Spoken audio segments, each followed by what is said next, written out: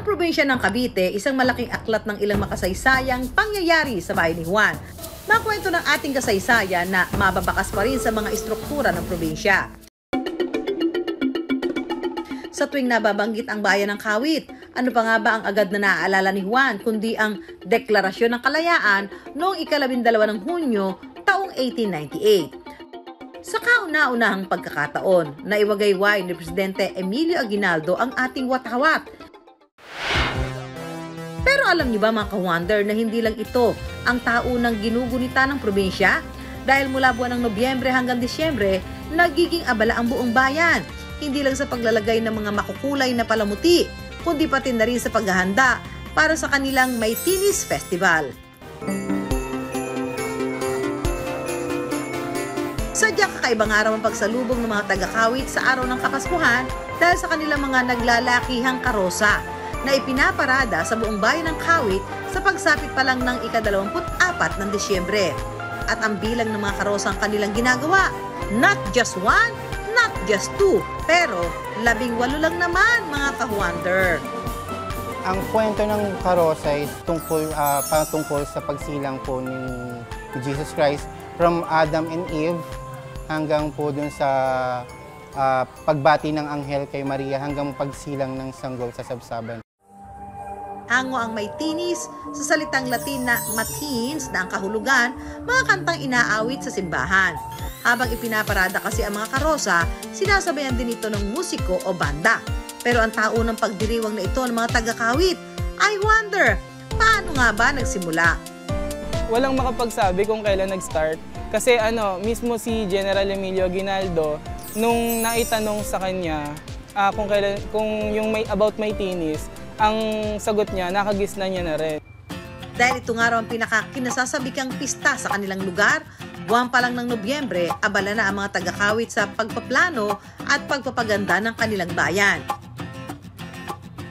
Hello mga ka-wonder, narito po tayo ngayon sa parokya ng Santa Maria Magdalena dito sa bayan ng Kawit kung saan ang simbang ito ay pinatayang na itayo sa loob ng apat na raang taon.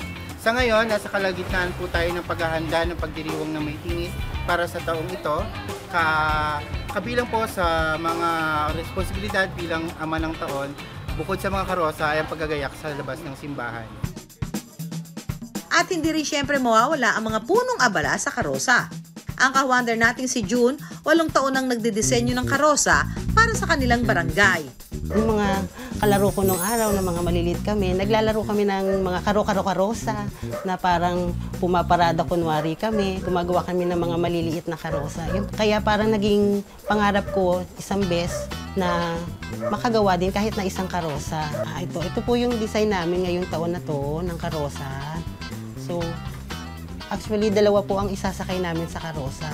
Kaya po dito sa karosang miniature na ginawa ko, naganda po ko ng isa dalawang upuan na para makita ng karpintero. Mula sa mga kartong ito, nabubuo ang mga karosang ipinaparada sa lansangan. Dahil sadyang may kamahalan ng pagsasagawa ng may tinis kada taon, kinakailangan nila ng tulong ng padrino o kung tawagin nila ay ama at ina na siya pangunahing tagalikom ng pondong gagamitin sa may tinis na nangangailangan ng hindi bababa sa 5 milyon kada taon. Katulad ko, ako ang ama, I am responsible for doon sa mga karosa na ang nakasakay ay live persons depicting uh, creation uh, creation up to the birth of Jesus. Ang ina naman ay responsible sa loob ng loob simbahan. Ng simbahan. Yung pagpapagawa ng mga bilhin, yun. Saka iba pang mga decoration mag- para maging maganda ang okasyon na yon. Malaki man ang inilalaan na pagod at gastusin ng mga taga-kawit para sa tradisyong ito. Sadyang magiging malungkot daw ang kanilang Pasko sakaling hindi ito maipagdiwang.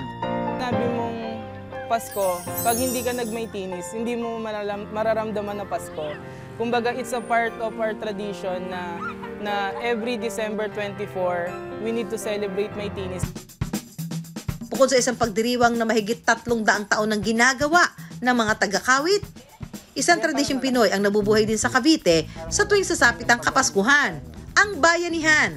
Hindi na po kailangan tawagin sila para dumating, yung kusa silang tutulong. isang karangalan po na maging bahagi ng isang malaking event dito po sa aming bayan na maibahagi ang aming talento sa pagpapaganda ng aming bayan. Bukod sa Kawit, ang kalapit na bayan ng Imus na nakilala bilang flag capital of the Philippines, bibida rin ng bayanihan sa pagsapit ng Kapaskuhan. Bago pumasok ang buwan ng Disyembre, isinisingit na ng mga volunteers ng Barangay Alapan ang paggawa ng mga palamuti. Ang gamit nila ngayong taon, mga napaglumaang gulong. Dahil sa maraming nagdadala dito ng, ng gulong, ng tricycle, ah, naisipan niya na gamitin yung gulong ng tricycle. Bukod doon, nakakatulong rin na maiwasan yung, kasi kalimitan yung gulong ng tricycle ay pinamamahayan ng lamok.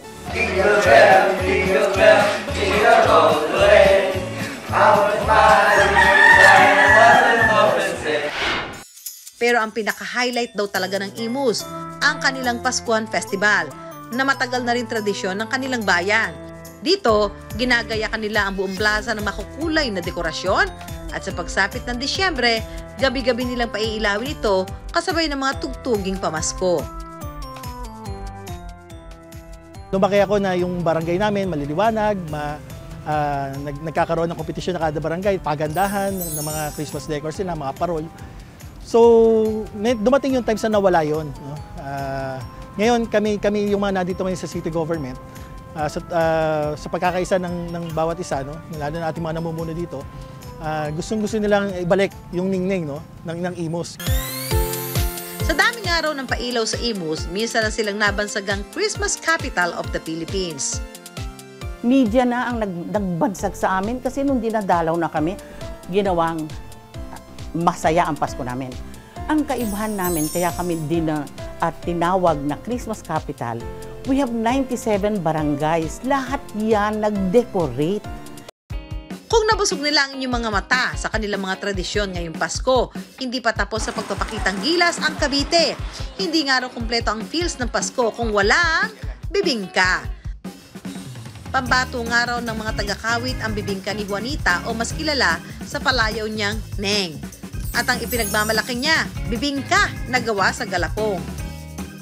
Dito sa kawit, ang bibingka ay giniling na bigas. Yung bibingka ko malambot, tsaka kasi may hinahalo ako doon, tsaka sa giling ng galapong. Kaya siya malambot, kaya siya masarap.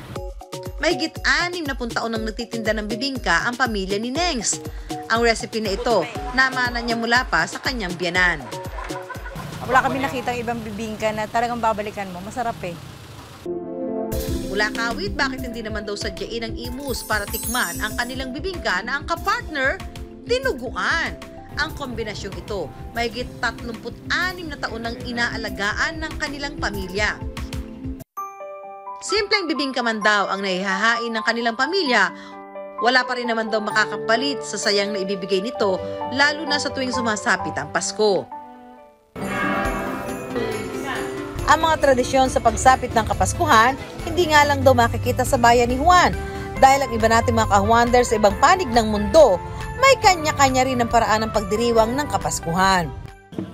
Sa bansang Britanya, imbes na Christmas tree ang pinalalamutian nila tuwing Pasko, bungo ng kabayo o maliit na hayop. Bago pa man lumaganap ang Kristyanismo sa kanilang bansa, nakaugalian na nila ang pagpaparada at pagbabahay-bahay ng isang taong nakasuot ng bungo ng hayop. Ang tradisyong ito na may mahigit 3,000 taon ng ginagawa ay pinaniniwalaan nilang nagdadala ng swerte sa darating na taon.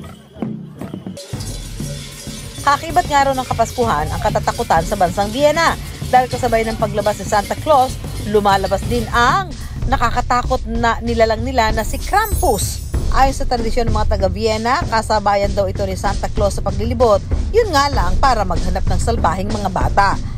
Kaya kung naging naughty ka ka-wonder, baka nasa likod mo na si Krampus.